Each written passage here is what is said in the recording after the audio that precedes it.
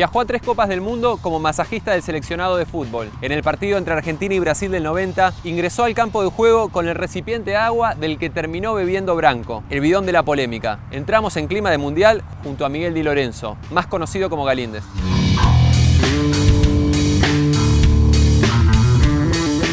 Diego, un fenómeno. No, eh, palabra mayor. Era joda de todo día, embromando, nunca se levantaba enojado, si no lo levantábamos con música. Eh, era un ambiente, pero excelente. No le gustaba cualquier cosa, que veníamos, reunión todos los días. Era una concentración, pero total. Hacía tanta calor, jugábamos a las 12 del mediodía, y hacía calor. Y vos imaginate que en el Azteca estás a 2.800 metros de altura, que fuimos a Jujuy, estuvimos un mes practicando en Jujuy 2.800 metros de altura. Después fuimos a La Quiaca a 3.000 metros de altura. Fuimos antes de ir al Mundial. Así que te puedes imaginar cómo, cómo estaba afilado, preparado al mango. ¿no? Ahí se ponía la pierna. ¿eh?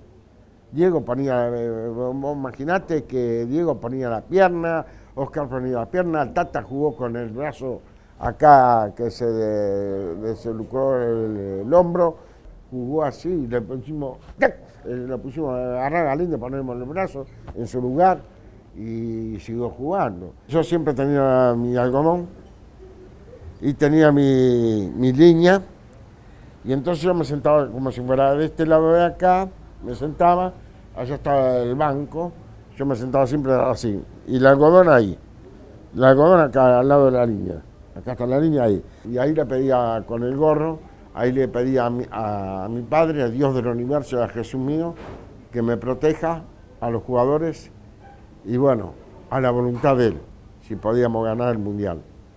Bueno, eh, Dios, Dios, mi Padre me ayudó. Esa es la cábala mía de, pedir.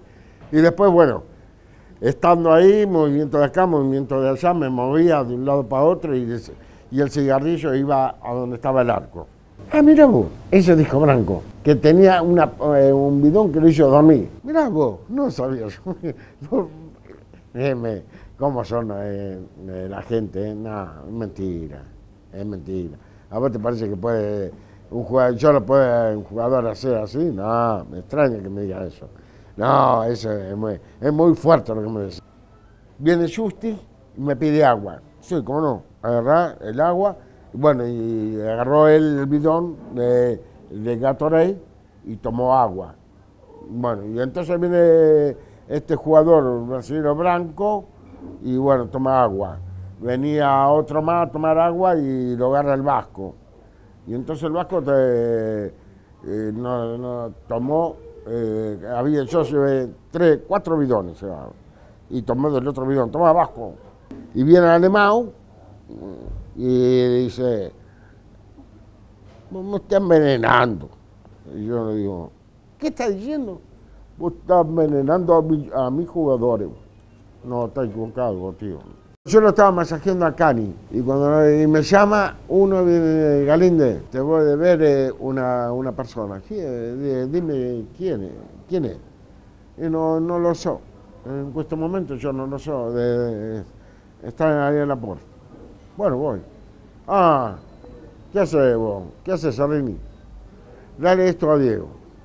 ¿Y qué? Dale esto a Diego que él ya sabe. Ah, bueno, completito, dije yo. Bueno, voy y se lo doy. Diego, él estaba tirado la camisa, que lo tenía que masajear. Tomá, Diego, esto me mandó Serrini.